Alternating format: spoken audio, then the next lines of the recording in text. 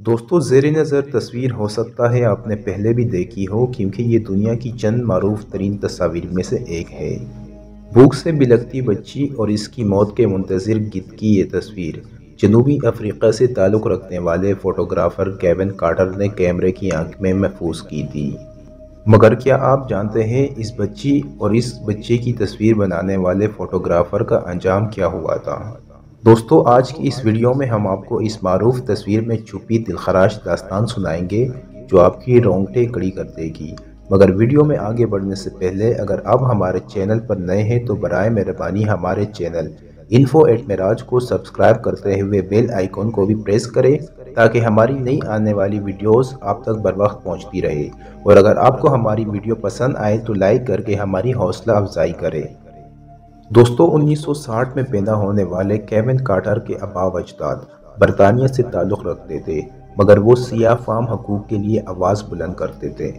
1980 में वो वेटर के तौर पर काम करते थे, मगर वहाँ कुछ फौजियों ने उन्हें तशद का निशाना बनाया, जबकि नौकरी ख़त्म होने पर नींद की गोलियाँ, दर्द कुश, अद्वियात और चूहे मार जहर का लिया, मगर ज़िंदा बच गए। फिर उन्नीस सौ तिरासी तक वो फौज में काम करते रहे और एक बम धमाके में 19 अफराद की हिलाकत के बाद इससे मुस्तफ़ी हो गए। बाद अजा एक कैमरा सप्लाई शॉप में काम करने लगे और बतदरीज सहाफ़त का हिस्सा बन गए। पहले वो जोहान्सबर्ग संडे एक्सप्रेस में स्पोर्ट्स फोटोग्राफर के तौर पर काम करने लगे, मगर उन्नीस सौ चौरासी में नस्ली फसादात के बाद वो जोहान्सबर्ग स्टार का हिस्सा बन गए और सफ़ेद फार्म हुकूमत के मसालिम सामने लाने का काम करने लगे।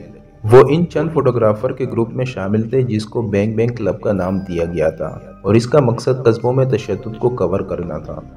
उन्नीस सौ तिरानवे में वो सूडान गए ताकि कहलसानी से मुतासर अफराद की हालत को दुनिया के सामने ला सके। वहाँ उन्होंने ये तस्वीर खींची जिसकी बदौलत उन्हें पल्टस अवार्ड मिला। एक गाँव में तस्वीर खींचने के बाद वो झाड़ियों की जानब गए तो उन्हें कुछ आवाज़ें सुनाई दी।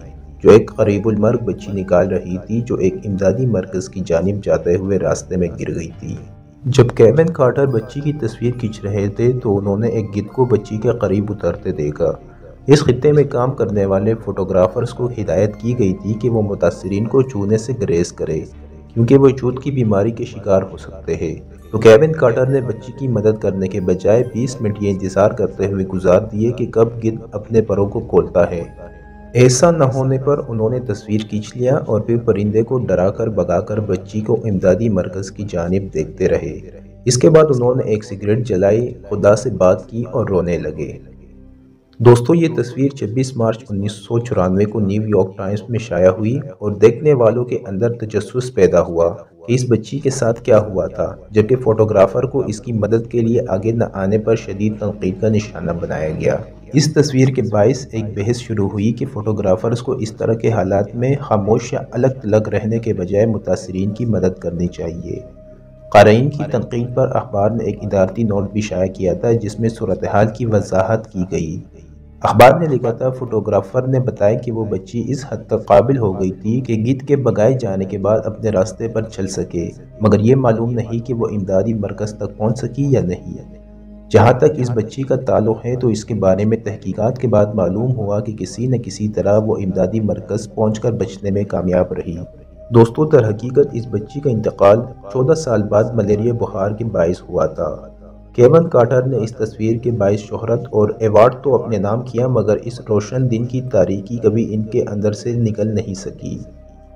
दर हकीकत सूडान में इनकी खींची गई यही वाहिद तस्वीर नहीं थी, बल्कि मुतद ऐसी तस्वीर इनके कैमरे में महफूज हुई, जो इंतहाई दिलखराश थी, जिनको देखना हर एक की बस की बात नहीं।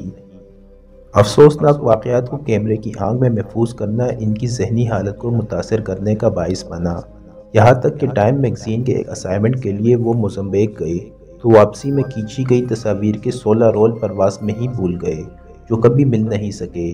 इसके एक हफ़्ते के अंदर ही उन्होंने खुदकुशी कर ली, जिसके लिए वो अपनी गाड़ी में एक बार गए, वहाँ गाड़ी के साइलेंसर में एक पाइप को फिक्स करके कार के अंदर लाए, और तमाम खिड़कियाँ और दरवाजे बंद करके इसे स्टार्ट कर दिया। गाड़ी से खारिज होने वाली कार्बन मोनोऑक्साइड गैस के नतीजे में वो वही चल बसे। इनके आखिरी ख़त में लिखा था कि मैं कहद साली के शिकार और ज़ख्मी बच्चों की कत्ल गारत, लाशों, गुस्से और तकलीफ़ और दर्द की यादों के आसेब में गिर गया हूँ। खुदकुशी के वक्त उनकी उम्र तैंतीस साल थी और जब उन्होंने खुदकुशी की तो कैरियर के हवाले से वो उनके लिए कामयाब तरीन साल था। जब बल्टर्स प्राइस के साथ साथ उन्हें American magazine picture of the year का एहसास भी दिया गया था। उनके वालिद जिमी कार्टर ने खुदकुशी पर बात करते हुए कहा था कि उनका बेटा अपने काम से जुड़े खौफ का बोझ उठाए हुए था और वो इसके लिए बहुत ज़्यादा बारी साबित हुआ। दोस्तों, केविन कार्टर की खींची गई ये तस्वीर दुनिया भर में आज भी मशहूर है, मगर ये वाक़ इंतहाई सबक आमोज़ है। वो एक हसास शख्स था। इससे यकीनन ख़ता हुई, जिसकी सज़ा पहले इसकी ज़मीर ने इसको दी, बाद अजा फिर इसने ख़ुद को सज़ा दी और अगर वो इसी वक्त बच्ची को उठा लेता तो आज भी वो फ़ोटोग्राफ़र होता। दोस्तों, इसके साथ ही आज की इस वीडियो का अहतमाम होता है। मज़ीद इस तरह की वीडियो के लिए हमारे चैनल सब्सक्राइब करना ना भूलें।